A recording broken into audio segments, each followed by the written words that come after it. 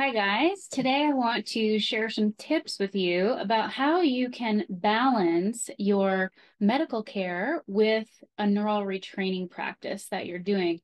I get this question a lot because many people out there have explored various neural retraining programs that um, teach them to ignore their symptoms and not put any weight in any physical potential causes of what's going on with their symptoms and things like that. I totally understand where they're going with that. However, I think there is a way that you can bring more balance between the two.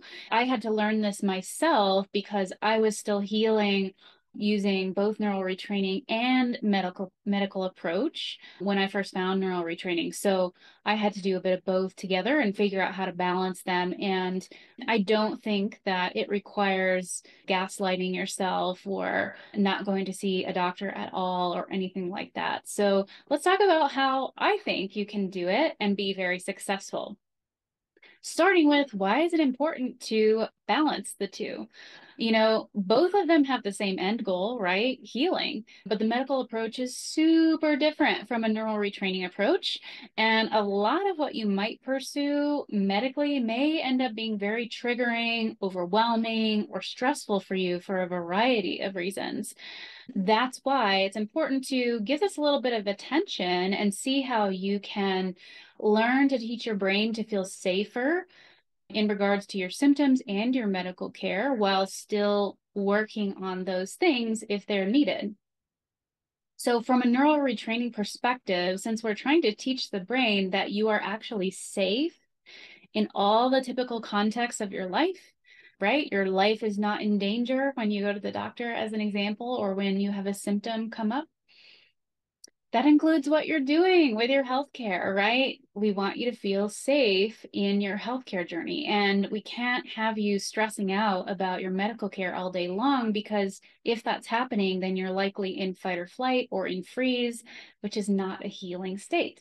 So it's not uncommon for the medical approach to healing to want people to take so many different actions to improve their health that it gets really overwhelming, right? In fact, I often meet people whose entire life surrounds their dietary restrictions, supplements, and medications they take, and their other health practices. And so you can imagine that if you also work or you have a caretaking responsibility of some kind or other things in life that you have to attend to, it can leave very little space for anything else. And these people I find often are not doing anything fun, are not having any joy in their life, any pleasure. They're not doing anything for relaxation or for connection. And I totally get that because at times during my health journey, that's what happened to me but I now know that that was you know a pretty detrimental way to go about it and it, it was not the most healing way to approach the situation and the reason is that there's a problem is because we're not designed to work, work, work and have no play in our lives. For most people, medically managing their healthcare is not fun. The entire range of positive emotional states that we usually easily access when we're doing something we love, that whole range of positive emotional states is healing. It changes the biochemical cocktail, not only in your brain, but in your entire body in such a way that all of the functions that you need in order to heal, those are all working better. They're all optimized when you're feeling good emotionally. So yeah, all of those positive emotional states are associated with that healing nervous system state that is nicknamed safe and social or rest, digest, and heal. It's got a couple nicknames now. So when neural retraining, we also don't want to focus all of our attention on our symptoms. And that doesn't mean that you can't take note of them and go, oh, yeah, my back is hurting a little bit more today. That's going to happen naturally. But what often happens it's really detrimental is when we fixate on the symptoms or on our treatment approaches, whatever that is. Because ultimately, when we put all of our focus on these things, it reinforces to the brain that the symptom is not safe. And that will then start a reinforcing feedback loop of hypervigilance about it, which ultimately leads to more dysregulation of your nervous system over time. It's a terrible feedback loop to be in. So, what can you do differently? Well, when symptoms are present or they're flaring, you can reinforce to your brain that you are actually safe. And I find that the best way to do this is to redirect your attention to something that legitimately makes you feel good and safe. And when you're feeling really anxious or stressed or threatened by what is going on in your body, you may need some help with that. And by help, I mean it's okay to use props. You can use one of your favorite funny YouTube videos to achieve that. You can use your favorite song and dancing around the living room with your partner or your pet. It's okay if you can't do it all internally. There are some great ways to do it that way, but for many people, it's difficult for them to do when they're really, really dysregulated. So that's something that I suggest you start doing immediately if you are dealing with symptoms. If you do need to do some research into your health issues, limit the amount of time you spend doing that.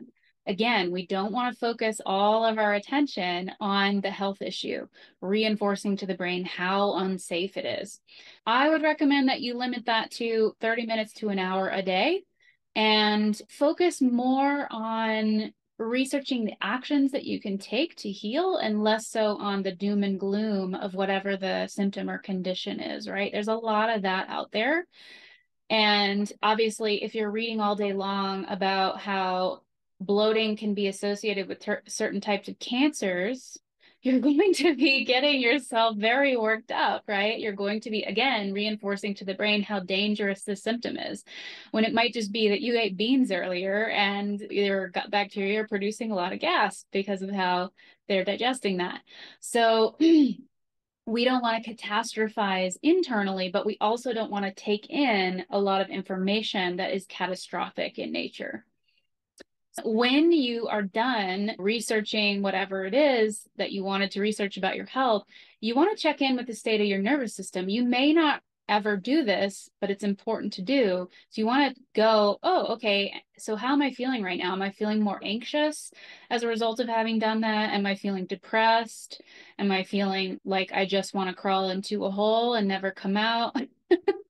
Am I feeling angry? Whatever it is it's coming up for you emotionally, if that's there, you need to attend to that before you move on with your life.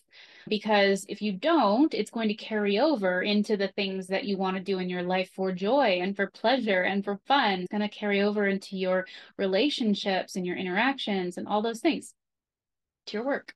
So you want to use a neural retraining process to help yourself move through that dysregulated state that you may have created by doing all this research. It's very common that people get very dysregulated when they research their own health issues. The other thing you want to be careful about is spending time on forums where everyone is just talking about how horrible they feel, how how long they've been sick, how they've tried everything and nothing is working, right? Because actually these stories can be really powerful, right? Especially when it's somebody dealing with the same experience you're dealing with. And let's say they're like, I have MS and you know they've had it for 20 years and they're way further along down the path and they're basically showing you what all the bad things that could happen on that journey with MS, that is not going to help you right now. That is absolutely going to be detrimental to your healing to take in a lot of that information or really any of it. Ultimately, for anything you're dealing with, what you want to focus on is the stories where people healed, is the stories where, pe- where people put the condition into remission, is the stories where they came out the other side or they lived a great life even with the condition. Those kinds of stories are the ones that you want to focus on. And in my experience, that's not what you get a lot of in forums. So be careful about that because, again, it reinforces to the brain how dangerous the condition or the symptom is. And that's going to lead to more dysregulation of your nervous system and less time spent in a healing state. So, if you get stressed whenever you go see a healthcare provider, you probably do want to work on rewiring that. It may be that you need to rewire some trauma from your experiences with past practitioners that you've worked with. And that may be the limiting factor to getting you back to a place where you can relax in a healthcare setting again. It may be that you have some negative belief systems about healthcare settings or providers that is triggering an excessive survival response to the idea of working with a practitioner.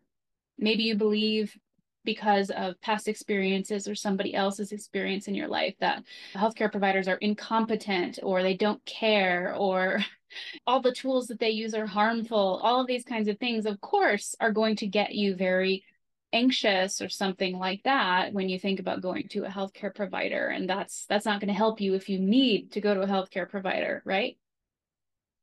Or maybe you just feel embarrassed or very vulnerable when you have to talk about what your health issues are with somebody else. All of those things can be rewired so that you can have a stress free time going to the doctor. And we have a bunch of people doing this in Wired for Wellness right now. People who ordinarily would get very anxious and have actually the runs from going to see a healthcare practitioner every single time. And they've rewired that response so it's not happening anymore. All kinds of transformations like that. And so that is so worth doing if you're in the midst of a healthcare journey and you have to go see a healthcare practitioner regularly, right? Because that means you're going to be improving your regulation for big chunks of time in your life if you're going regularly. Okay, so the next thing that I wanted to mention I think I'm going to save to the next video because this video is getting a little bit long. So thanks for tuning in and I will make a part two and send it out to you soon.